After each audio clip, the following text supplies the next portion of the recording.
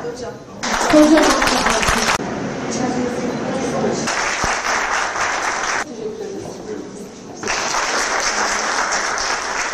Hocamla tanıştık.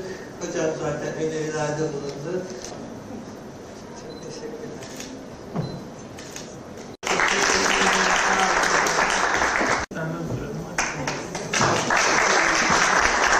Hadi eğlenceli bir hale getirelim. İşte uzun saçlarım vardı.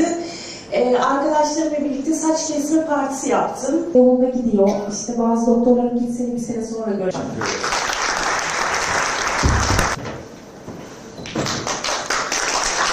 Ee, şu an tedavi devam ediyor fakat çok iyi gidiyoruz.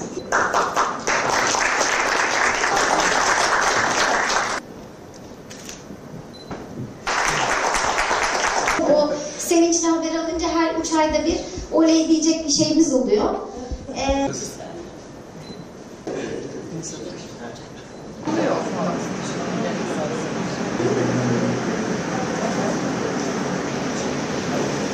Dünyada da ülkemizde de Ekim ayı meme kanseri farkındalık ayı ve meme kanserine maalesef her 6-7 kadından biri e, yakalanıyor. Biz de e, Hisar Hospital Intercontinental Hastanemizde meme sağlığı kliniğini kurduk. E, çünkü 6-7 kadından birinin bu kanserle yüzleştiği durumda baştan aşağı tanıdan tedavi aşamasında her aşamada hastalarımızın yanında olmaya çalışıyoruz. Birçok branşın multidisipliner ortamda aslında ortak akılla hareket ettiği bir e, multidisipliner tümör konseyinden geçirdikten sonra hastalarımızı meme sağlığı kliniğimizde en optimal şekilde, en doğru şekilde e, tedavi etmeye ve onların da bu süreci en kolay şekilde, en konforlu ve en e, iyi şekilde tamamlamasını sağlamaya çalışıyoruz. E, burada tabii ki en önemli nokta hastalarımızın bunun farkında olması. E, bu anlamda hastalarımızı ulusal kanser taramalarına e, başvurmaya, kendi kendilerine meme muayenelerini, hekim eşliğinde meme muayenelerini, mamografilerini yaptırmaya ve e, herhangi bir e, kendilerinde memelerinde farklı bir durum gördüklerinde en yakın sağlık kurumuna başvurmaya davet ediyorum.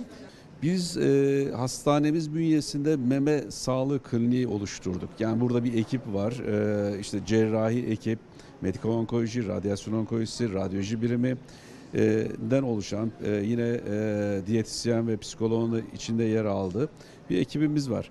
Bu ekip yalnızca meme kanserleriyle daha çok ilgileniyor. E, hem bunu vurgulamak amacıyla hem de bu e, Ekim ayındaki meme kanseri farkındalığını artırmak amacıyla bir etkinlik düzenledik hastanemizde. Güzel geçti. Toplantı çok verimli. Çünkü burada hem e, hekimlerin ağzından çok hastaların e, yaşadıkları. Çünkü bu olayı yaşayan bizzat hastalarımız. Bu süreci bizzat yaşayanlar kendileri. E, yıllar içerisinde bu anlık olan bir şey değil. 3 yıl, 5 yıl, 10 yıl uzun süreler süren inişli çıkışlı bir süreç. Direkt e, olayı, süreci hastalarımızın ağzından duymak daha keyifli oldu, daha iyi oldu. Bunun bir amacı da yeni başlayan hastalarımız veya diğer sağlıklı kadınlar, e, yakınlarımız onları da bilgilendirmek amacıyla böyle bir toplantı yaptık. Umarım iyi geçmiştir. Herkes e, faydalanmıştır diye düşünüyorum. Meme kanseri diğer kanser tiplerinden farklı. Tedavi seçeneğinin çok olduğu bir hastalık grubu. Ee, hem e, kemoterapilerin dışında birçok sistemik tedavileri kullanma şansımız var ve bu ilaçlarla birlikte hastalarımızın çok uzun dönem yaşayabiliyorlar. Ee, Birçok hastamız kurtulabiliyor. Ee, Bazen ileri aşamada dahi gelse hastalar e, uzun dönem sağlıklı, rahat, konforlu yaşama imkanı bulabiliyorlar. O nedenle hastaların e, yeni yakalanan özellikle hastalarımız için söylüyorum korkmamaları gerektiğini düşünüyorum. E, Hekimleriyle birlikte, tedavi gördükleri sağlık merkezleriyle birlikte onlara güvenmeleri, birlikte bu süreci geçirmelerini, hiçbir zaman korkmamaları gerektiğini özellikle tavsiye ediyorum. Çünkü hayat mucizelerle dolu. En olumsuz düşündüğümüz, en kötü dediğimiz noktada bile dönüşlerin olduğunu biz görüyoruz bunları. Tabii bazen tersi de mümkün oluyor ama o, e, hayat ne getireceği belli olmuyor. O nedenle gereken neyse onun yapılması gerekiyor. Bunu da sağlık çalışanları birlikte hastalarımızın korkmadan sürdürmeleri gerekiyor. Yanlarındayız, birlikteyiz. Birlikte mücadeleye, birlikte e, tedavi aşamasında olsun, cerrahi aşamalarda olsun, kontrol aşamalarında olsun hep birlikteyiz onlarla. Her zaman e, bizlerle birlikte korkmadan bu süreci devam ettirmelerini istiyorum. Ee, aslında bir grip gibi başladı önce. Ee, kemiklerimin ağrıması, e, hiç yatakta uyanmamam. Kendimi hep grip hissettim. Kolumun hiç kalkmaması. Ee, ondan sonra 5 hastane gezdim. 5 doktor gezdim. Bulamadılar. Karaciğer enzimleri yüksek dediler. Kendi kendine meme ucunda akıntı oldu. Sonra meme cerrahına gittim ve e, muayene ederken e, kocaman bir tümör. Hani büyümüş yani. E, ondan sonra başladı tedavilerim, MR'larım, biyopsilerim.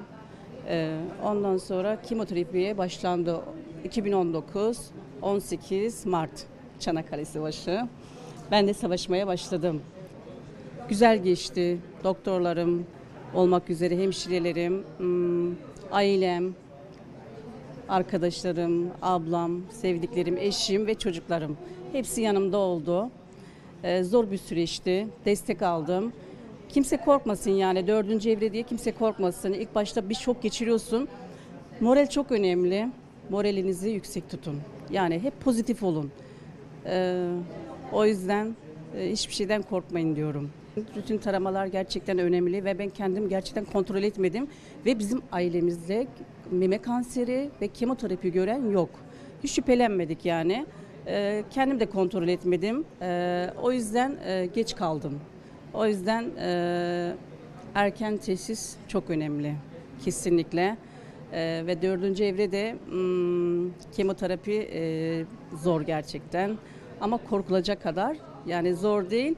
E, şey çok önemli destek yani aile, e, moral, e, vücut sağlığın çok önemli. Bütün tedavilerime uyarak ve e, ameliyatlık bir olayım vardı. Hamdolsun e, kemoterapiyle o tümörüm bitti benim. O yüzden e, muayenelerimizi yapalım, tetkiklerimizi yapalım. E, mutlaka memografi falan çekelim yani. Geç kalmayalım diyorum. Ben dedim mutlaka gitmem lazım. Çünkü ben o süreci yaşadığım için onları dinlemem lazım. Yaşa, hepsini yaşadığım için belki dinlemek isterim onları. Onlar beni dinlemek ister. Ee, bir nebze olsa dedim yani benim de katkım olsun. Ee, en önemli şey şu e, erken teşhis ve e, hocamızın verdiği takvimi birebir uygulamak. Bunlar çok önemli. Bir de ben sanatçıyım, resim, e, rölyef sanatçısıyım. E, kendimi daha da adadım bu işe. E, bir hedefim vardı, lösemili çocuklara özellikle e, yani çalışmalarımı onlara bir bölümünü bağışlayıp onların tedavisine destek vermek istiyordum. E, hiçbir zaman söğütlemedim arkadaşlarımdan, bana destek veren ailemden, eşimden, dostumdan. E, ayrıca sanatım çok güzel, onu da çok seviyorum. E, hiçbir zaman söğütlemedim. Bir de en büyük hedefim lösemili çocuklar olunca bu beni daha da motive etti.